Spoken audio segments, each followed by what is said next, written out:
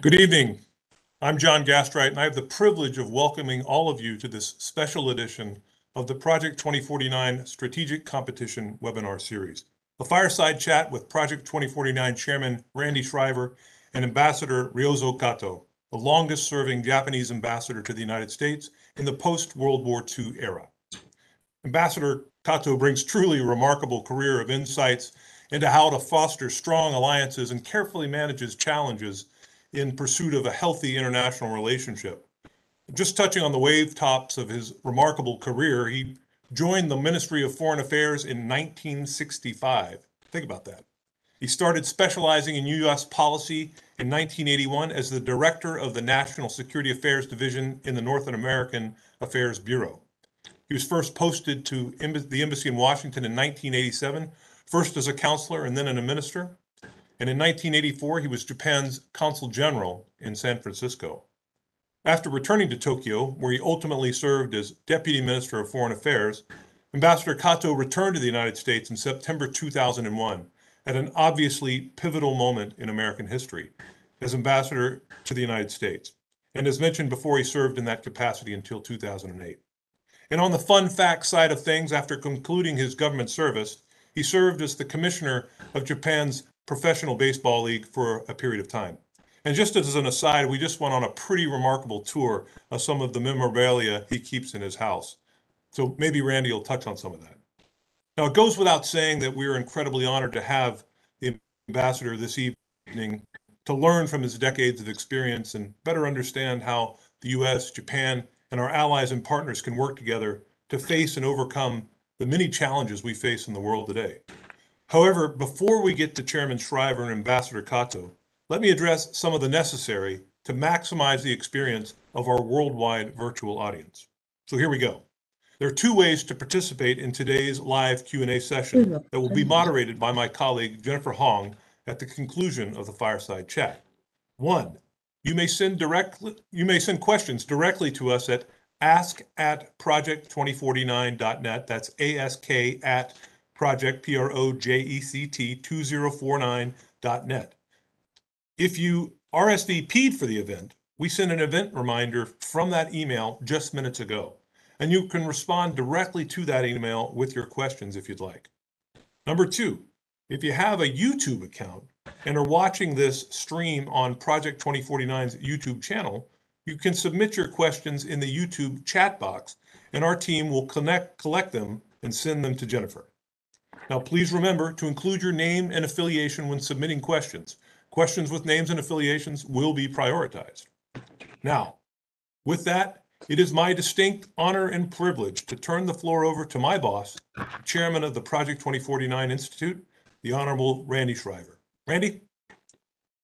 Great, John, thank you very much. And uh, good evening to those in the Washington area and in the United States. Good morning to friends in Tokyo and in the Indo-Pacific region. Uh, you know, we do a lot of events at Project 2049 through a typical year. I can't think an event uh, of an event that I was more excited about than this one to uh, reconnect with somebody that I had the privilege of working with in government, but somebody who I greatly admire and respect, and uh, have the opportunity really to learn something from him every time we have a chance to speak. And even tonight, as we were preparing, uh, I had uh, the chance to hear some interesting anecdotes about some of the uh, famous Major League Baseball players Ambassador Kato has come across in his very distinguished career. Uh, but we want to uh, use this time to learn from you and, and hear your thoughts on contemporary issues.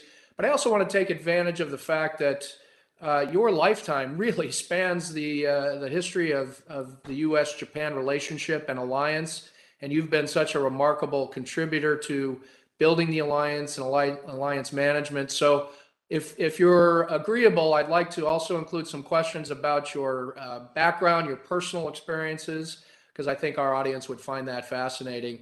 And with that in mind, I might just start by um, uh, pointing out to our audience, uh, Ambassador Kato, you were born just a few months before the United States and Japan went to war. Uh, so your your lifetime literally went from peace to war to peace and alliance building. Um, I won't, uh, I, I, I was doing a bit of math in my head. I, I suppose you probably don't remember a lot about the war years, but, but perhaps you do, but you certainly wouldn't remember the, uh, the U.S. occupation period and the transition. Uh, as, as one of our great alliance managers, can you tell us, uh, what are your very first memories of dealing with the United States, dealing with uh, maybe the uh, U.S. force presence? What were your impressions as a boy when you first uh, came across uh, U.S. service members and, and other uh, U.S. citizens? Yes, uh, see, as far as I'm concerned, I didn't have any um, strong feeling toward the U.S. and the servicemen or U.S. occupation uh, offices. And see, my memory is really my memory with the United States began with the baseball in 1949. San Francisco Se- San Francisco Seals, Triple A team, visited Japan and played seven games. All seven seven games they won lopsidedly. Hey, this is the American baseball. To me, already there are many, many uh, semi-god type of Japanese professional baseball players at that time. However, compared to American baseball, the Japanese baseball looks very small. And in 1955, this is 10 years after the end of the Second World War, New York Yankees visited Tokyo. And the next year, 1956, Brooklyn Dodgers, not, not yet the uh, Los Angeles Dodgers, Brooklyn Dodgers visited Japan. Oh, there's a powerful team, so good. And one memory, all American players are very kind to kids, including like myself, baseball kids. One game I went to see, there and one hour, hour and a half before the game, there's a lineup waiting for a sign of Jackie Robinson. I was in that line. And two guys, two boys before me, time was up. Jackie Robinson apologized. "Yeah, I have to go back to the field. Ah, And he stopped. Also, so just because of two two kids, Japanese kids, I missed his autograph. but all, mostly it's a fond memory in my case. And uh, the big reason is that I wasn't in Tokyo. I wasn't exposed the opportunities and uh, meeting frequently with American soldiers in the camp base in, the, in the Akita prefecture. Very quiet. No US bases, nothing. That's one of the reasons. And also, my uh, 10 years and 11 years old older brothers told me about why this and the war happened, how Japan lost, and then what we have to do under US occupation to rebuild the country or something like that. Therefore, no, it was a rather, uh, so rather, rather, uh, more positive, I may, I may say, encounter in my case with the United States and the Americans.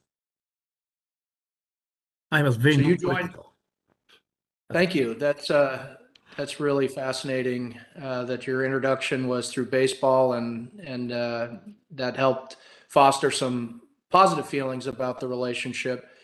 Uh, you joined the Foreign Service in 1965, which was an interesting time in the relationship. Uh, we'd gone through the treaty renewal, which was quite controversial in Japan. A lot of protests in the uh, 60, 61 time period. Yeah. Um, but uh, certainly with the the uh, beginning of the Vietnam War for the United States, uh, the theories of uh, communism spreading in the region, the U.S.-Japan alliance was becoming critically important.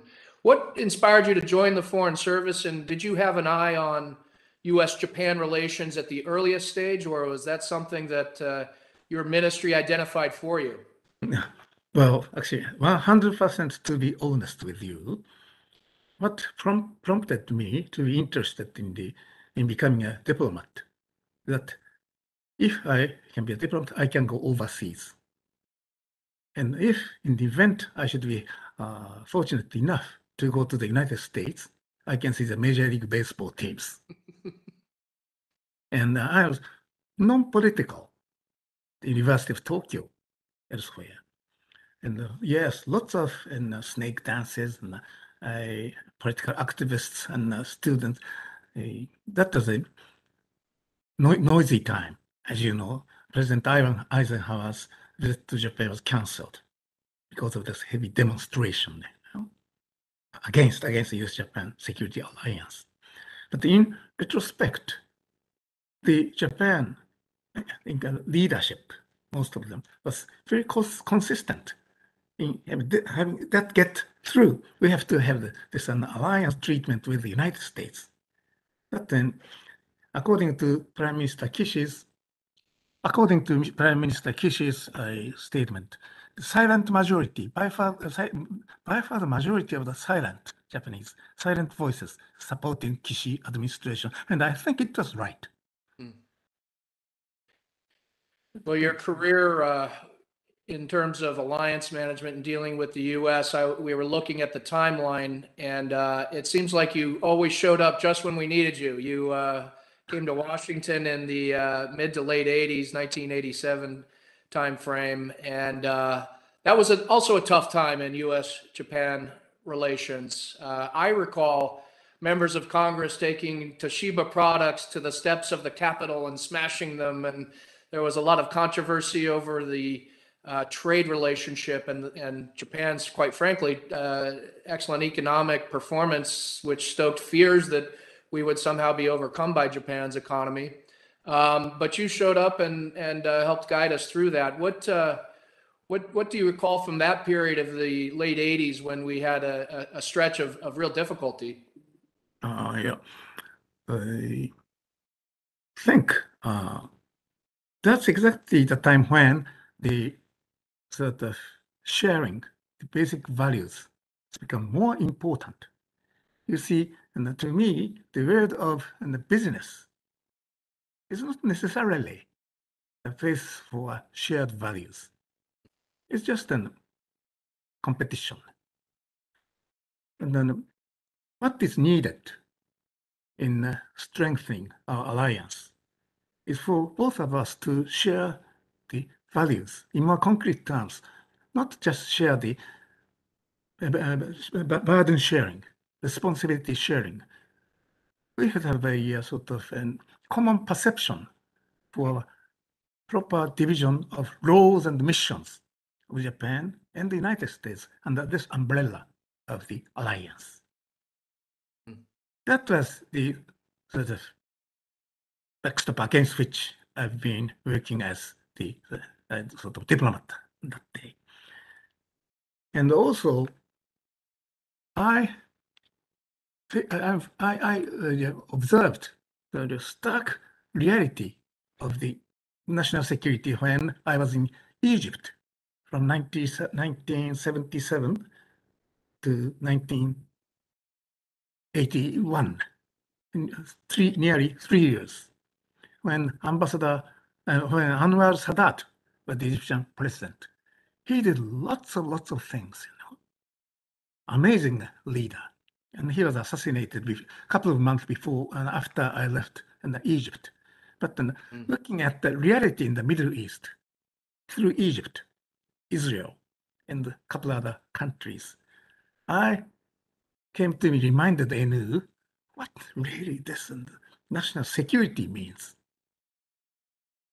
That helped when I uh, give a thought to what we should do to the strengthening of US-Japan alliance in my later career.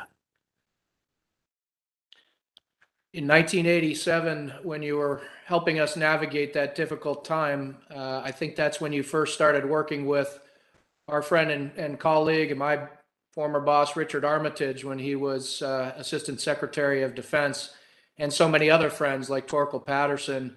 Um, you all uh, went off and did different things, and then you came back together again at, at exactly the right time. Like I said, you show up when we need you most. You came to Washington again in September 2001 at the time uh, the United States was attacked.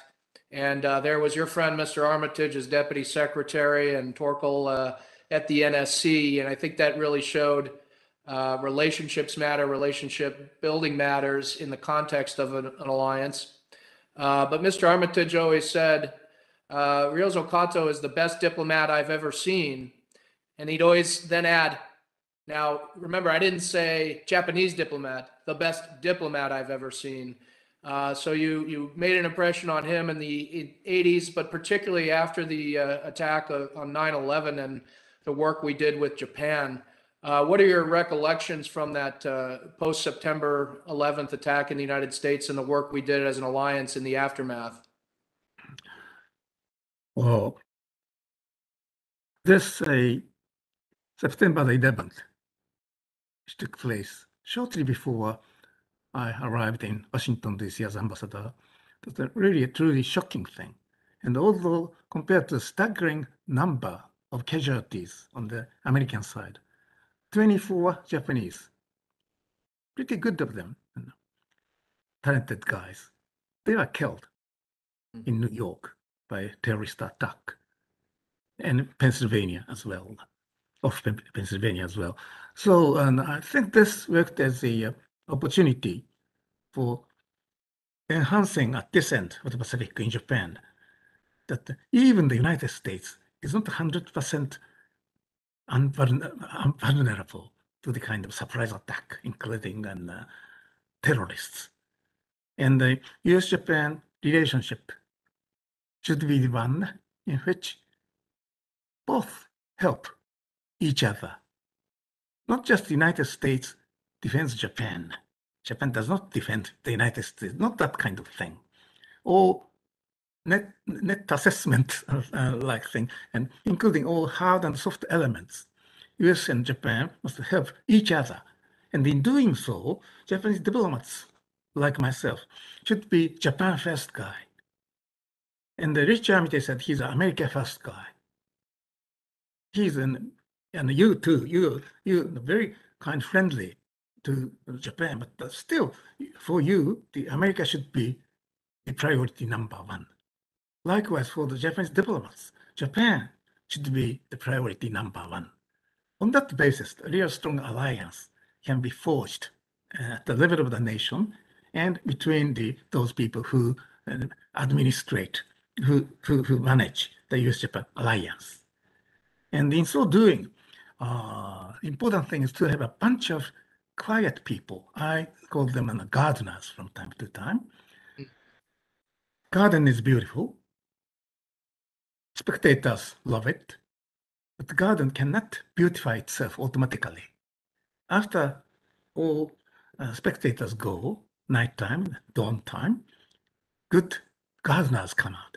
And without any any audience, they prune, water, and give fertilizer, and to keep the garden beautiful. And then in the morning, when the first spectator shows up, the garden is uh, beautiful as and yesterday before as before, and something like that. Those you know, the larger the number of good gardeners for US Japan alliance on both sides of the Pacific, the larger the number, the more solid the alliance will become. This is an important thing for us to keep in mind, even this at this time of the IT age. Oh, that's a wonderful analogy. Um, and you, you, you, you just brought us to the present by saying, uh, even in this day and age. Uh, so we're, we're traveling quickly through uh, the time in your career, but uh, maybe we can just take a few moments and talk about uh, the state of the alliance today and the strategic environment in which we're operating. Uh, as somebody who poured so much into the alliance, what's what do you feel about the state of the alliance today and uh, how far we've come and maybe some things that uh, you're both impressed with and, and some things you think we still need to to work on together Well, the state of the alliance is uh, really strong. You see, uh, the outcome, result of the opinion, opinion poll taken by the Cabinet Office November last year, but then the outcome was released this past February. to which, according to which, the approval rate and popularity of the United States and Americans to Japan the Japanese was as high as 88.6%. And comparative figure to China, the record low of 20.6%. 88.6% versus 20.6%. And those who uh, claim for the further strengthening of the US Japan Security Alliance is 92%. I think and, uh, this is very reciprocal. More or less, and uh, so at the other end of the Pacific, in your country as well. But having said that, though, the one opinion poll, which was taken several years back, but ever since the no, uh, opinion, opinion poll was taken, question was addressed to 64 countries, including Taiwan. And the question was, are you ready to fight yourself? If foreign power uh, make an aggression to home to, to, to your home country. To this, Chinese and the Russians, I really don't know how this opinion poll was taken. Uh, incidentally, opinion poll was taken by BBC International uh, several years back. Chinese and Russians, 80% or plus said, yes, we are ready. And Americans, 55%. French, 38%. Koreans, 42%. German, Germany, second lowest, 28%. We are ready. Japan was the lowest among the 64, including Taiwan. The number was 11%. On the other hand, uh, the different opinion poll taken quite recently showed that 83% of Japanese would like to be born again as a Japanese if there's a second line. The same, and the answer to the same question by Koreans is 70% plus. Koreans say, we are not, we don't like to be born again as the Koreans in the next life. Hmm. But then this Korea says 42% Koreans say, yes, we are ready to fight for our country. Japan, just 11% of the Japanese say, we are ready to fight for the company. That's, there's a, the kind of, and uh, quite a bit of the gap between these two figures. That's the kind of thing I have to, for Japan to I mean, keep in mind. In the case of emerg- emergency, what we should do under the US-Japan alliance and to maintain the effectiveness and uh, credibility of the US-Japan alliance. Do you think we have a, a shared uh, understanding of what Xi Jinping and China is up to? Do we do we share a common view of the challenge? And and uh, if not, where would that gap be? Because I think at a foundational level, having a shared understanding of the strategic environment, which I think is being driven by China's assertiveness and their their ambition, uh, is is critical before we even think about alliance activities. Are are we on the same page on this critical question? I think there's a pretty good uh, shared perception between the United States and Japan toward China, for that matter, to Russia as well. Uh, actually, from around the uh, 20, 2015, 2016, 2017, at that time, the threat perception of thre- threat perception toward China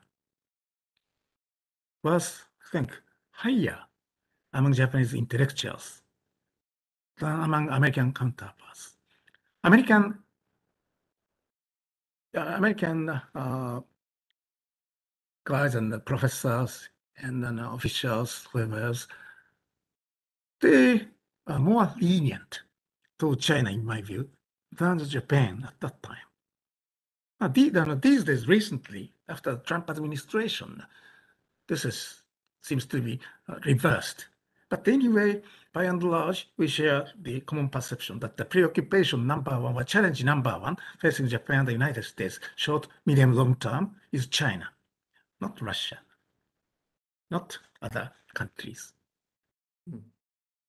And within that uh, broader set of challenges, uh, you and I over the years have talked a number of times about uh, threats to Taiwan. And uh, I would say, you know, the interesting thing about being a political appointee in the United States is you go into government, work two or three years, leave, come back, you know, some amount of time later, and you get snapshots of where things stand. I would say the issue of Taiwan has moved the furthest in the U.S. Japan uh, dialogue and and the perceptions of what our alliance should be thinking about and preparing. Um, is that uh, would you share that view? Is has Japan's views changed on this or evolved, or is this a matter of a, a subject that was uh, maybe difficult because of Japan's uh, history there, the previous colonial era, the the um, uh, the desire not to confront China or anger China too much, but these sentiments were already, there, or is it China's activities and behavior that have heightened uh, Japan's sensitivities to the security interests and what Taiwan represents?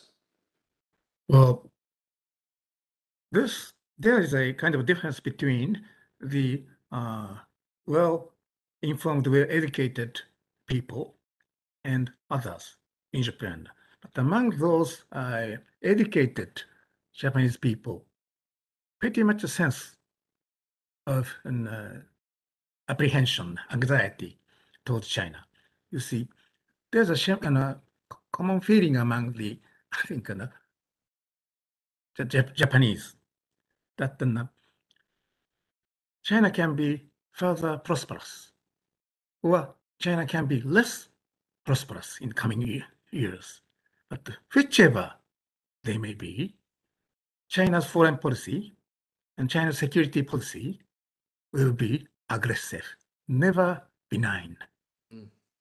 The poorer China become, China will be increasingly more, increasingly more uh, aggressive, never benign in their foreign policy, security policy. And China becomes further prosperous, the same. China's foreign policy and Chinese uh, secu- security policy, security strategy will continue to be, or even more aggressive. Never we can expect it to be benign. So be, no benign China on that sense, on that score, for many more years to come. Is uh, And on, on the Taiwan incident, yeah. on the Taiwan, yes, Japan-Taiwan relationship, not just at the sort of central government level, but the people's people to people level, it's very good.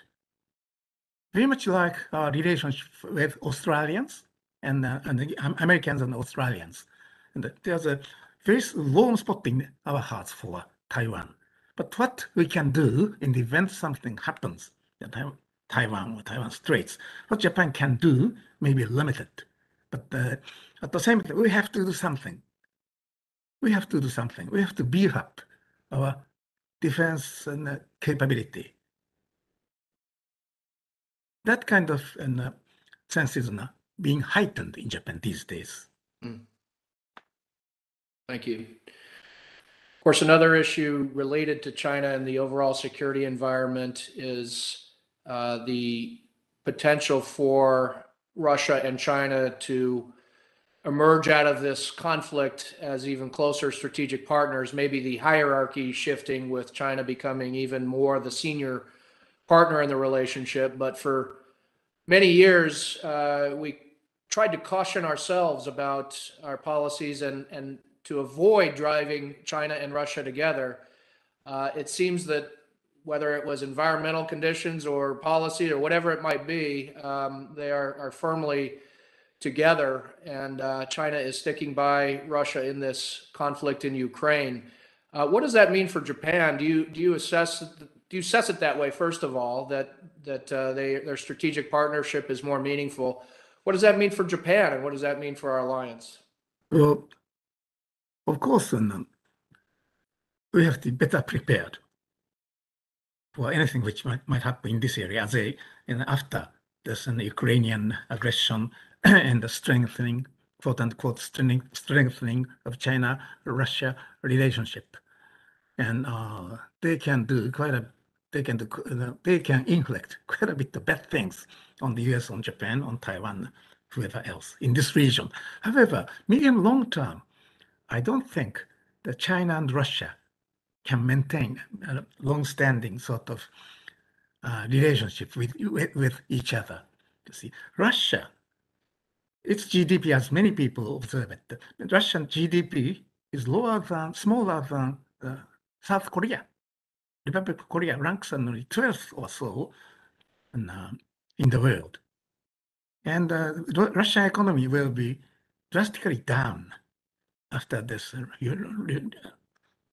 uh, Ukrainian situation, which means even if the uh, relationship tie between China and Russia gets stronger, it means more that the Russia become an apparent little brother to China, which doesn't fit with the sort of pride, the leader like Putin. Junior partner, little brother, he hates that kind of concept, don't you think?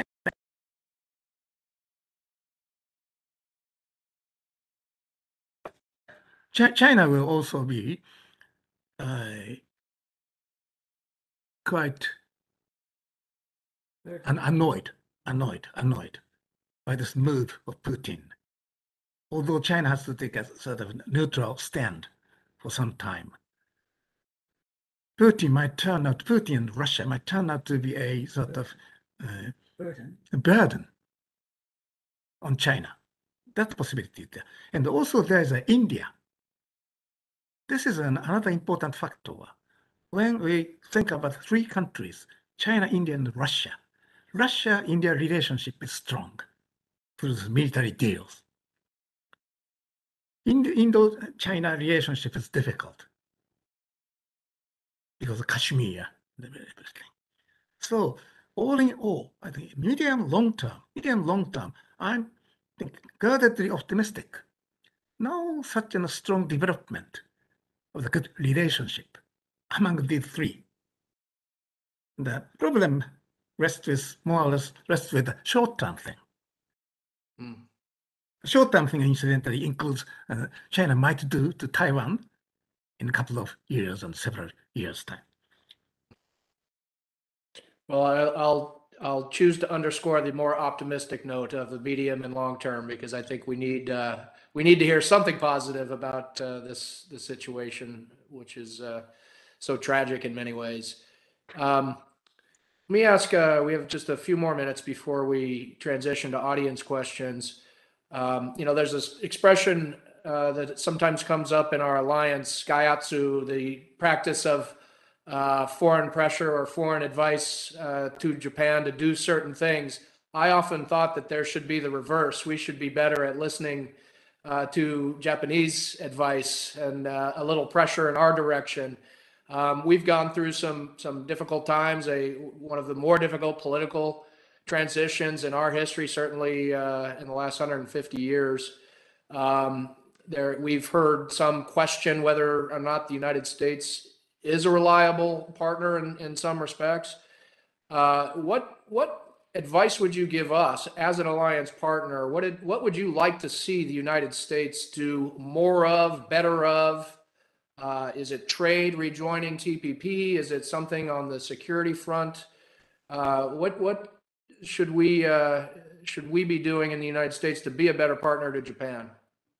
Well, unlike many other colleagues, colleagues of mine in Japan, again, I'm pretty optim- optimistic to the future of the United States. Many people talk about a division of the United States. However, in history, the United States is a country of divisions, starting from George Washington time and Jefferson. For him to become the president, 30 round polling was needed to elect him as a president, and civil war. And uh, Theodore Roosevelt time, it's, I think, there was a tremendous division in American societies and Vietnam War era. And today, always there are the serious divisions in the American community. somehow, somehow the United States has overcome these things. You know. President Trump seems to be like a wildfire, huge wildfire. You may like it or not. You can't distinguish it quickly. But it's an, somewhat like a wildfire which happened to Yellowstone many years ago. It's devastating. However, after this wildfire, fresh greens start to sprout. And even more beautiful national park appeared there, you know, sort of thing. I'm myself optimistic to the future of the United States because partly because of the military strength, that sort of hard power, but also as uh, Joe Nye said uh, already, the tremendous soft power. You see, United States population increased by uh, millions over the 10 years, as you know. Well, th- this is because there are so many people on the face of earth who might become, wish to become Americans. A comparable number to China, Russia, India, I don't know. Very insignificant, I think, if there should be any. The soft power of the United States is never underestimated. And of course, again, like a net uh, assessment, the national strength should be measured not by the military strength, economic strength, technology, technological strength, but the, the, uh, the, the spirit of the people, Mm. will of the people, and some uh, lubricate, lubricate sort of things among the peoples, the unifying power, the this concentration power of nerves when incident and some incident happens. But that's all. The U.S. democracy is much stronger than many people expect it to be. Therefore, the, so so therefore the basic thing for Japan to do to strengthen further the U.S.-Japan alliance is three. Once Japan meet, uh, Japan uh, needs to beef up its defense capability and defensive posture maintained. An effective, credible defense capability, it's be- be- beef up consultation through with consultation through the United uh, through the consultation with the United States. It's one thing. The second thing, further foreign direct investment both ways. Japan ranks number three, I think, in number, aggregate amount of foreign FDI, foreign direct investment, and uh, only in the United States, only after UK and Canada.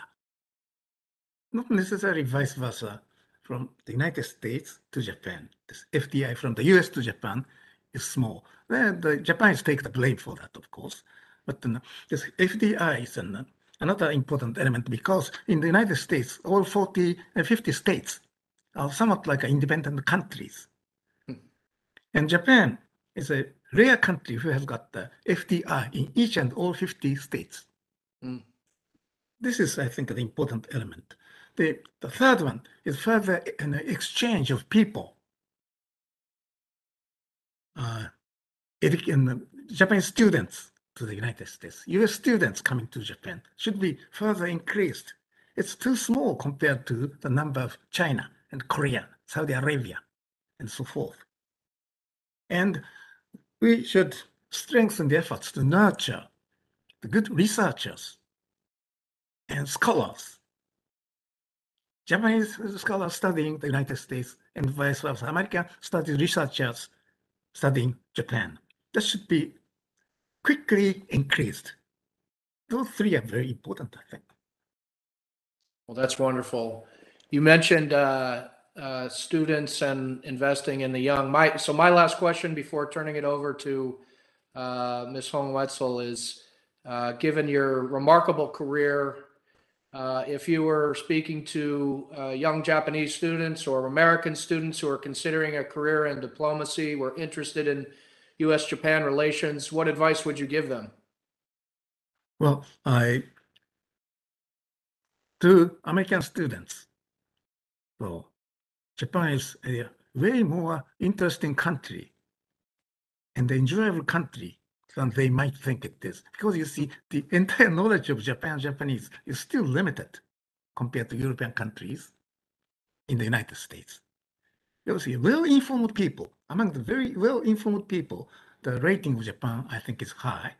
But this should be shared by the young and upcoming people in general over the state. Therefore, I call to the Americans by uh, when I say I call on to reach out to the Americans, I'm Americans in each and all states, not just in Washington, New York, Los Angeles, Chicago, elsewhere, but then each and all states, youngsters in there. We'd like to come up with some and uh, projects and uh, programs to foster that kind of a sort of exchange between the United States. And to the Japanese, I don't have to say anything because the popularity of the United States is quite something. As you know, these days, the good high school students, top cream high school students, go directly from the high school, Japanese high school to Ivy League in the United States, a good other, other good universities, colleges in the United States directly without going through University of Tokyo, University of Kyoto, and those Japanese colleges and universities. That number is rising quickly. So get uh, the United States cannot be understood through online meetings or just photos or something like that. Go there, meet with people. That's the best way to know, to understand United States. You don't have to necessarily like the United States.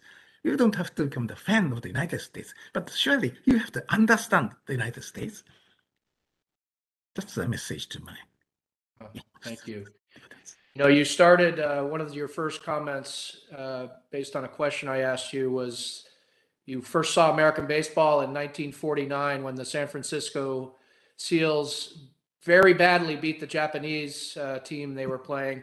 But I would point out that by the time you became baseball commissioner in Japan, Japan won the World Baseball Classic. So you must have been watching very closely as a young boy and helped Japan uh, develop the kind of baseball programs that are actually the, the best in the world now. So, uh, Jen, uh, over to you for audience questions.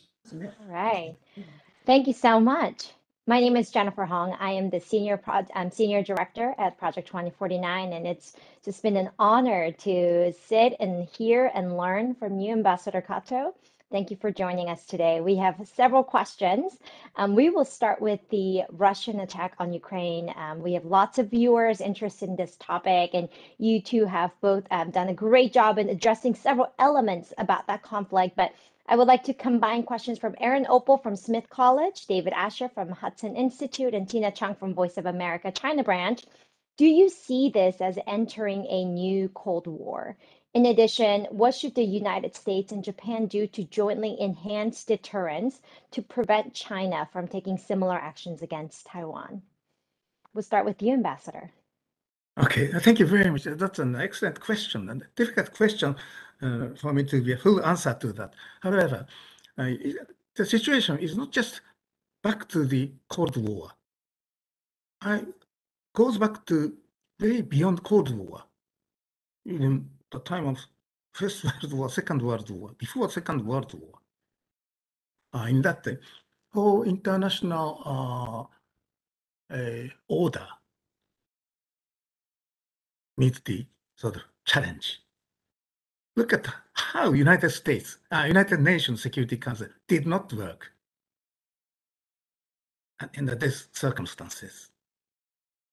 And two members, uh, two permanent members out of five, five most responsible nations for the peace and stability of the world. They are defying the international law almost on a daily basis. Typical case is Soviet Union. Therefore, on the one hand, many things we have to do. One, we have to really give a serious thought what the United Nations should turn out to be in order for that to be, be more effective, universal international organization or organizations who can do something good to to stabilize the situation in Ukraine or wherever else, that kind of thing. And but in the short term, I think yes, it's an alarm bell is ringing, and this is in the benefit of Japan and the United States. Time for further strengthening of this alliance by more precise, precise analysis, precise analysis what the roles and missions of the United States and Japan should be, under the circumstances, in concrete terms, force structure, and something like that. Thank you. We have another question from the audience. How do you believe Japan's views of the People's Republic of China has evolved over the last 20 years? Well, as I mentioned in the in the initial and um, initial part, I Chinese popular popularity of the Ch- China and Chinese People's Republic of China and Chinese are very much down in Japan, and 20.6 percent, 20.6 percent according to an opinion poll.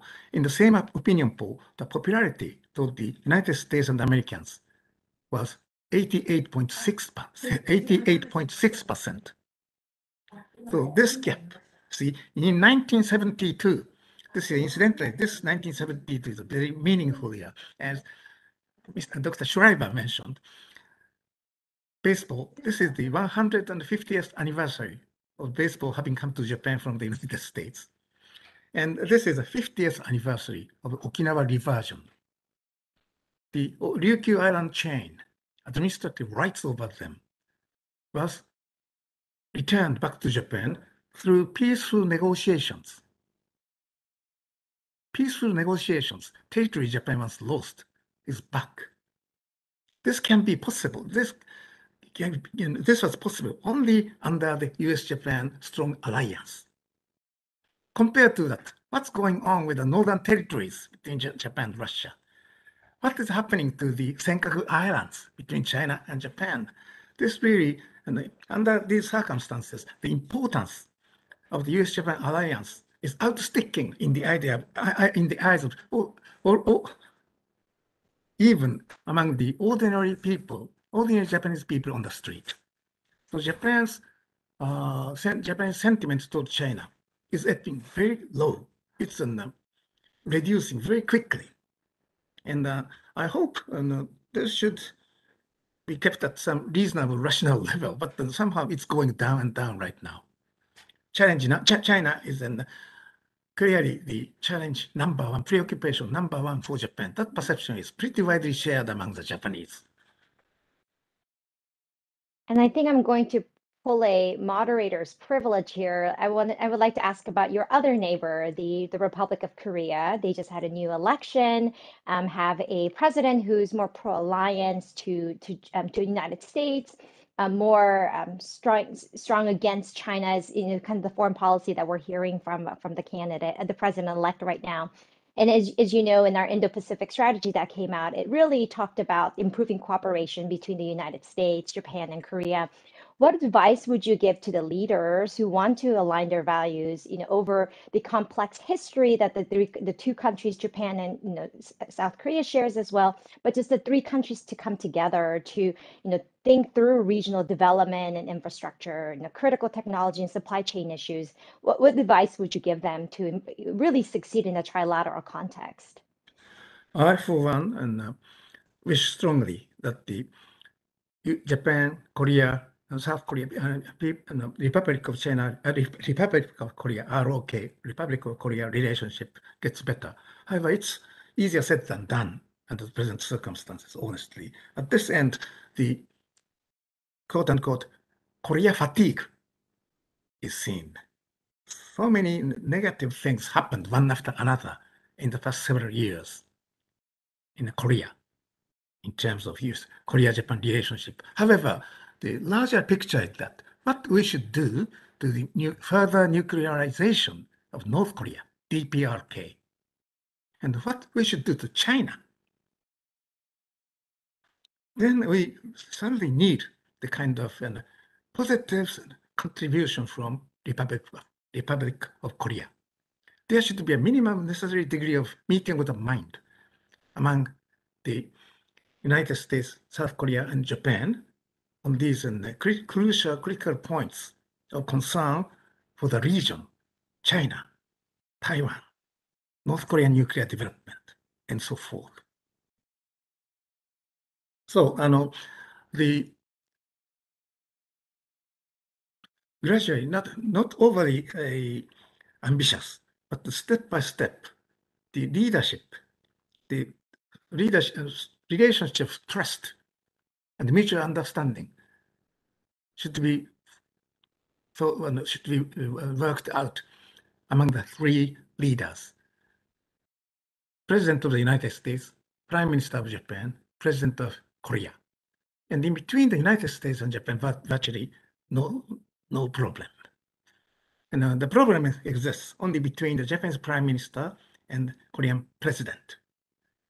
And uh, in order to improve this bilateral relationship between Korea and Japan, again, I have to say, I, sorry, I have to say this, but we need a help from the United States. Thank you. Um, we have uh, one more, actually, we may be able to squeeze in two more questions here. So one, um, this question is from Surya Nara, uh, Narayanan. How can the United States address criticisms of its um, lessened economic and political presence in Asia as the regional comprehensive economic partnership unfolds?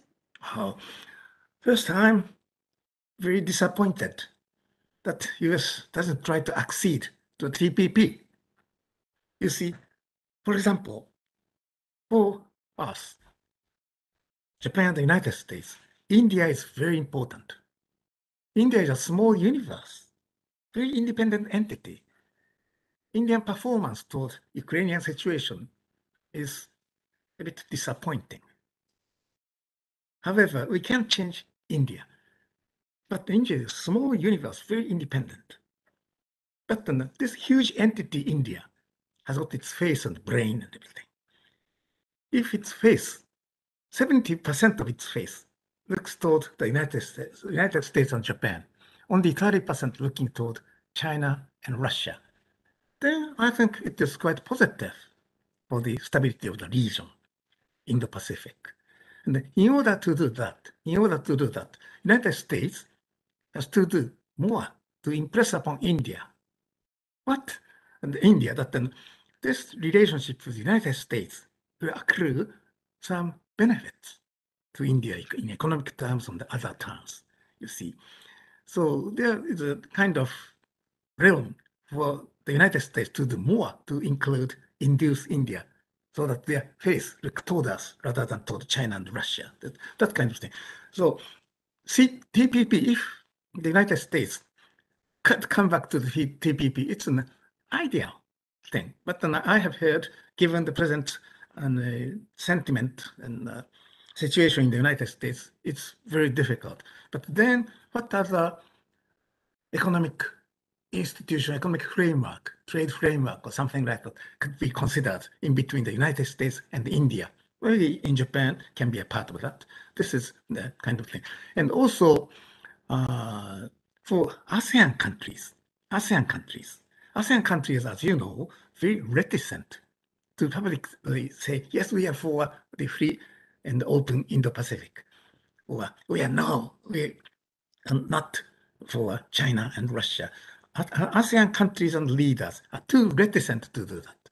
However, my gut feeling, my uh, experts, my and colleague experts in the Ministry of Foreign Affairs say, ASEANs, most of the ASEANs, the bottom depth of their heart, they are for the free, open Indo-Pacific region, rather than in, where, the United States and Japan and, uh, exercise the kind of good leadership than the world where China is taking the leadership. They don't say that publicly, but then for India, uh, for ASEAN countries, again like India, ASEAN countries need it is a benefit in tangible terms, benefit they can get from the United States.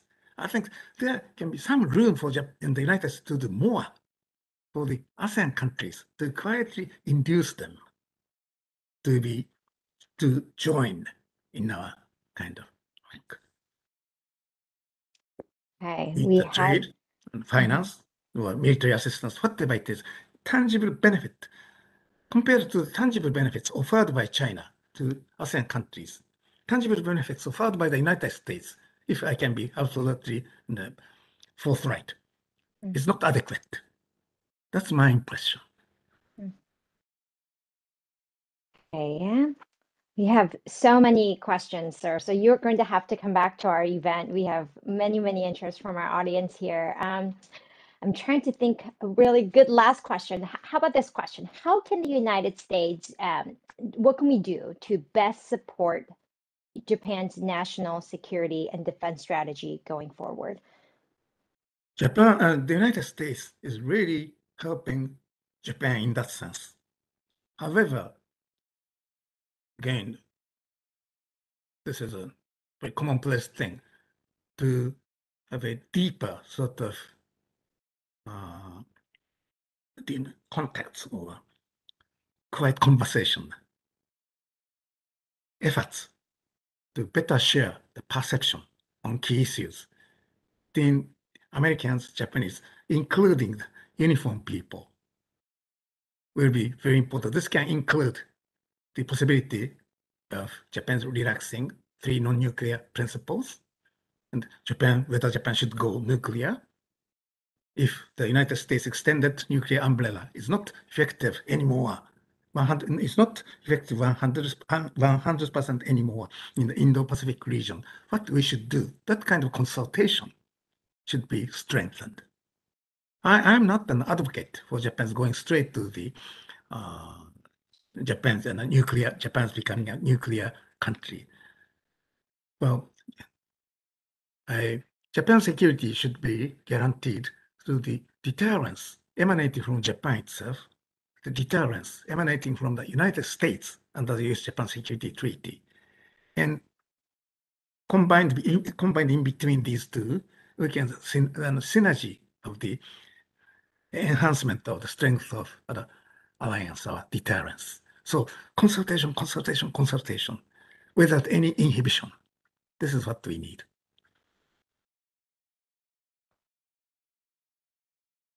Okay, Randy, do you have anything to add to that? Um, it just seems like we might be able to squeeze in one more question here. Um, thank you. That that was meant to be my final question, but sir, if I may just ask one more question. Um, defense technology cooperation is one of the foremost pillars of the U.S.-Japan alliance. What lessons should be applied to Taiwan, and are there um, similar domestic drivers for jobs and tech spin-offs? Excuse me, can you, is that technology? Yes, defense uh, defense technology cooperation. Yeah, is one of the most yeah. Yes, I, and the, the, in the context of the security of Taiwan, for example, the transfer of defense technology, well thought out technology is needed, I think. And uh, th- this may not be the direct answer to your questions. However, many countries, including and uh, many countries in this world, tend to be interested in the brand shopping, like the state-of-the-art military capabilities or something like that. But before that, the if we try to cope better with the challenges coming from China, for Taiwan and Japan to have an increased number of submarines, and to in the United States to deploy uh, deploy a medium range missiles sea-based or land-based. This is, I think, very effect, very effective. And then U.S. keeping, and this is not the, about the technology transfer as such, but then U.S. Uh, and U.S. and uh, reassuring that the forward deployment strategy will be fast maintained many years to come. This I will send a very strong message to all the key countries in the region. But technological transfer, technology cooperation among those countries, they're absolutely important. Technology is really important. Thank you, Ambassador Kato. On behalf of Project 2049, um, the live audience that's tuning in, and many more I know will be listening and watching this uh, event later as a recording, we just thank you so much for being part of this conversation. We learned so much from you, and we hope that you will be joining us again in the future for future events. Thank you very So much. Thank you. Thank you. Thank you. Thank you very much. It's a great honor. Thank you. Thank you, Ambassador Kato. Okay. Okay, we're, we- the, the live stream